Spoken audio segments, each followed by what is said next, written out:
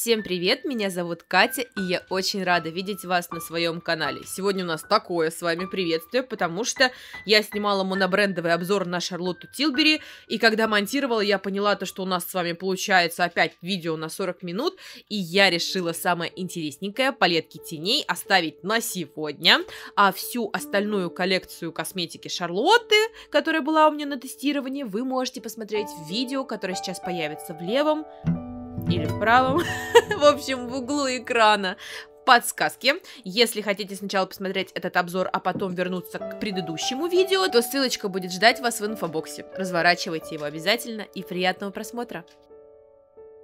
И последнее, на что мы сегодня будем с вами смотреть, это будут, конечно же, четверки палетки теней от Шарлотты. Я думаю, что это один из самых популярных продуктов у бренда. И у меня сегодня для вас две.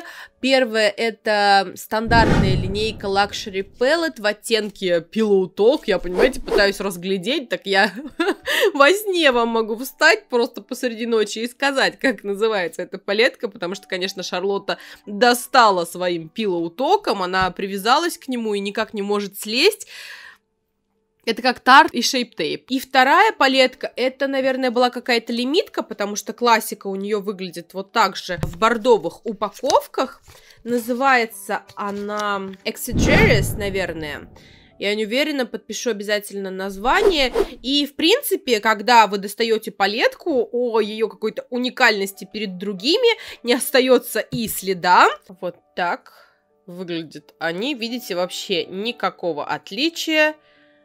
Есть отличие только сзади, потому что разные названия палеток, да, и разное название оттенков, а так вообще идентично все.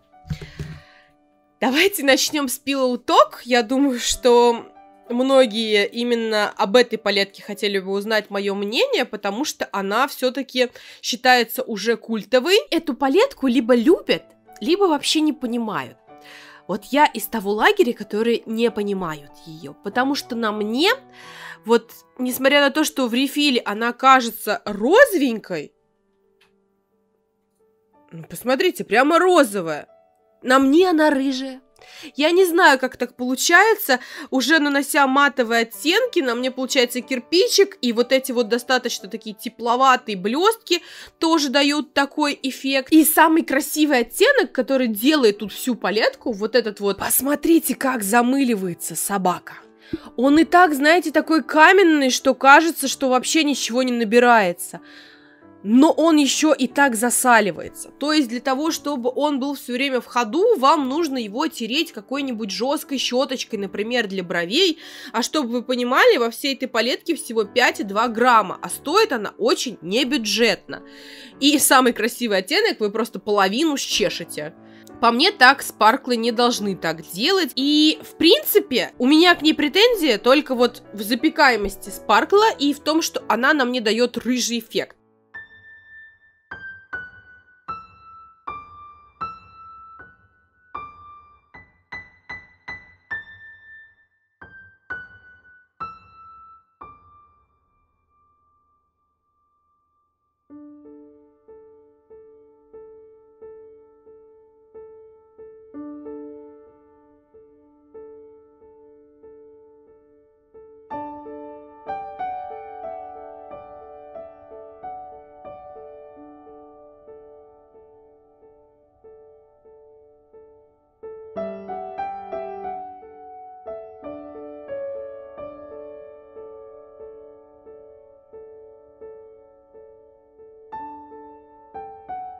Все остальное будет по техническим характеристикам идентично вот этой вот палетке. Но здесь мне нравится цветовая гамма. Сегодняшний мой макияж сделан именно этой палеткой. У меня к ней тянется рука, в отличие от Talk. Она попрохладнее. Конечно же, ей далеко до какой-то такой холодной палетки, но прошу обратить внимание на вот этот вот спаркл. Он по ощущениям, когда его набираешь на палец, точно такой же, как и в Pillow но я работала с ними одинаковыми кистями, одинаковым методом, почему-то здесь ничего не запекается, а здесь запекается. Я узнаю у Насти, насколько эта палетка старше, чем вот эта. Возможно, это просто новее, и этот спаркл ждет точно такая же судьба, как и этот. Но пока, к счастью, такого не происходит.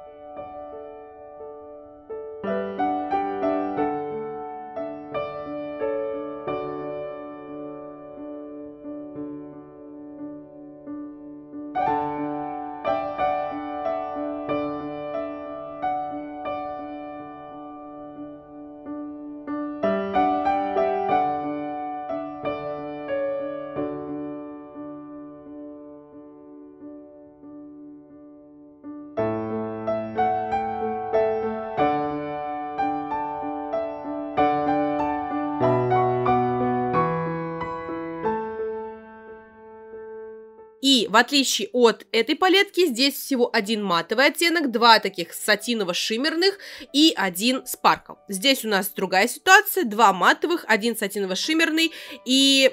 Ну, тут, наверное, скорее сатин. Прям сатин-сатин. И спаркл. Если вам нужна такая палетка на каждый день, когда просто, знаете, утром проснулись, еле оторвались от подушки, и в полутеме, в полудреме нужно быстро сделать красивый офисный такой ежедневный макияж, я очень советую палетки от Шарлотты. Мне кажется, таких быстрых макияжей у меня сто лет не было. Просто берешь кисточку, тык-тык, матовый сам растушевался, сам ушел в кожу, вообще сам все сделал, вам только надо кисточкой пару раз помахать. Сатины прекрасно вот эти вот я не знаю, не определился их как называть, сатины или шиммеры. Нет, для меня это все равно такая полусатиновая текстура. В общем, сатины прекрасно наносятся кисточкой, прекрасно растушевываются, вообще нет никаких проблем. А вот спарклы это тот оттенок, который засияет навеки как стекло, только при условии нанесения пальцем. Во-первых, на кисточку он практически вообще не набирается, а во-вторых, даже если что-то набрали, вот эти вот кусочки отдельные нужно будет хорошо кисточкой втереть в века. Такие себе ощущения. Пальцем же это не жующие веки спарклы, прекрасные, влажные. Знаете, мне кажется, это одни из самых влажных спарклов, которые я когда-то видела в своей жизни. И вот эту палетку мне будет очень жалко отдавать, потому что я ее как-то так, знаете, полюбила уже по-своему. И очень мне здесь нравится спаркл. Знаете, в последний раз мне нравился так спаркл в палетке стилета от Марка Джейкобса. Вот тот невероятный дуохромный спаркл нравится приблизительно так же, как спаркл вот в этой палетке. Также очень понравились матовые, как я сказала, которые делают всю работу за вас. А вот сатины немножечко все испортили, потому что я такую текстуру сама по себе не люблю, редко ношу, если уж наносить металлик, так чтобы сияло. Ну, не нужны мне офисные ежедневные макияжи на каждый день. Просто нет такой технической задачи. Если бы была, то я обязательно бы обзавелась палеткой Шарлотты. Они намного мне по качеству понравились больше, чем Том Форд. Хотя, как бы, Шарлотта раньше работала в Томе Форде и говорили то, что это приблизительно одно и то же. Но не знаю. Я увидела отчетливую разницу, и тени от Шарлотты по мне показались намного легче в работе. Я для себя решила, что большие палетки от Шарлотты, вот эти вот длинненькие, это вообще не моя история, потому что там вообще нет спарклов, насколько я понимаю. Там только матовые и вот эти вот полуметаллики, полусатины. В общем, лишать себя такой красоты точно не стоит. А вот что касается четверок, то я хотела бы приобрести полностью палетку попсов. Это Шарлотта называет вот эти вот спарклы, эту текстуру так. Например, мне очень нравятся рождественские лимитки от Шарлотты. Вот в прошлом году такая была бордовая, в этом году зелененькая, с бежевым. И я, если честно, долго сидела и думала, когда вот была скидка пред черно-пятничная на культе, когда палетку попсов с зеленым рефилом можно было купить с хорошей скидкой, я что-то зажмотилась, знаете, я думала, купить, не купить, купить, не купить, тем более уже купила Hourglass, и не купила. И знаете, сейчас немножко жалею, у меня Черная Пятница, в отличие от вас, еще впереди, так как вы видите это видео только на следующей неделе, я еще имею возможность на Черную пятницу поймать ее со скидкой. Те, кто купил ее на культе или где-то в другом месте, я вас поздравляю. Обязательно напишите мне потом, как она. И давайте напоследок посмотрим на каждый оттенок поближе. Начнем давайте с палетки Exegerius. Вверху располагаются два сатиновых оттенка, внизу один спаркл и один матовый. Сатиновые это палетки прекрасного качества, если вы такое любите, наносятся они прекрасно и кистью, и пальцем. Первый оттенок такой слоновой кости, прямо такой гладко-жемчужный, а второй розово-золотистый. Мне как раз-таки нравится больше второй оттенок, я могу его и на все подвижное веко нанести, а вот цвет слоновой кости только под бровь или в уголок глаза, какой-то он, знаете, обычный, что ли. Я бы лучше заменила его на месте Шарлотты на Sparkle. Эти два оттенка пылят при наборе на кисть, но при этом прекрасно ею набираются и передаются на века. Стойкость целый день, тушуются прекрасно. В общем, если вы любите сатины, повторюсь, это отличный вариант. Дальше будем с вами смотреть матовый оттенок из этой палетки. По мне он какой-то такой красно-коричневый. И если внимательно присмотреться на сводч, то кажется, как будто бы этот матовый оттенок немножко немножечко отливает таким ну, совсем легким сатином, и мне кажется, то, что это действительно так, потому что у них просто великолепная тушевка, напоминающая сатины очень легкие матовые в работе, абсолютно не сыпящиеся под глаза, не ставящие пятен, не залипающие, наслаиваются как на сами себя, так и на другие оттенки из палеток Шарлотты. И я действительно давно не видела таких легких в применении матовых оттенков. Мне кажется, его можно растушевать пальцем на бегу. Божечки, и вот посмотрите, последний оттенок это тот спаркл, про который я вам говорила все видео. Он, как и все спарклы Шарлотты, на прозрачной базе и, на мой взгляд, это больше топер, чем самостоятельный оттенок, но, боже, посмотрите, какой он влажный.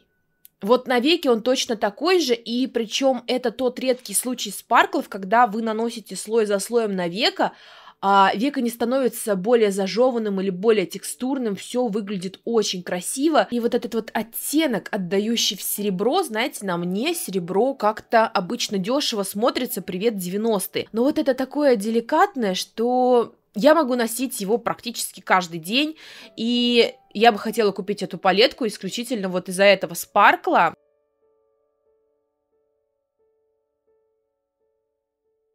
И вторая палетка это знаменитая классическая версия Pillow Talk. Давайте будем смотреть на нее поближе. Здесь два матовых оттенка, один сатин и один спаркл. Матовые из этой палетки очень похожи на матовые из предыдущей, но здесь они при наборе кажутся намного более мягкими и шелковистыми. Также пылят при наборе на кисть и точно так же прекрасно и мягко растушевываются в дымку, прекрасно наслаиваются, не залипают и не ставят дырок. Но вот почему-то именно шелковость в этой палетке у этих рефилов намного выше при наборе. Один цвет такой розово-дымчатый, другой мягкий коричневый, и они, конечно, идеальные в качестве матовых. Единственное, что в сочетании именно с моим оттенком кожи дают какую-то рыжину. Вот я сейчас смотрю на пальцах, и мне безумно нравятся цвета, но, к сожалению, на глазах это у меня выглядит совершенно по-другому. Дальше сатиновый оттенок из этой палетки. Это такое очень мягкое, очень нежное шампанское.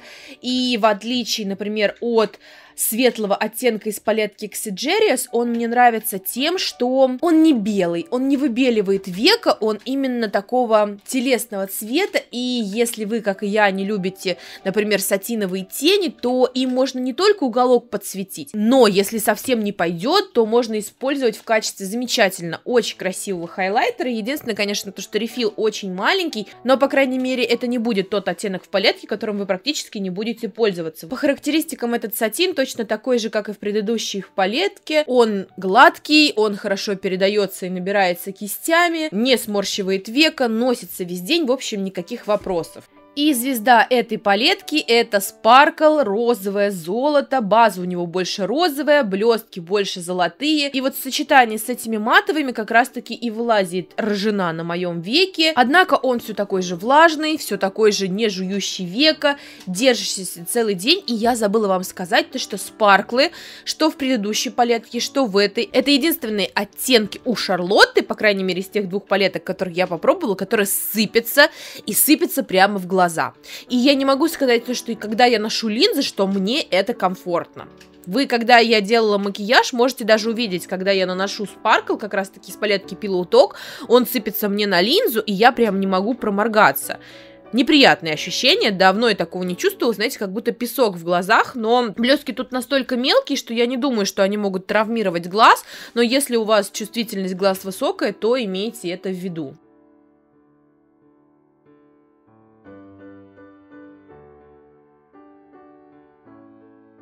Подводя итог по палеткам, они мне по своим техническим характеристикам понравились. Пилоуток не понравилась по цветам. К сожалению, на мне рыжит, но я знаю девчонок, на которых она абсолютно розовая, пыльная и очень красивая. Все зависит от вашего цветотипа.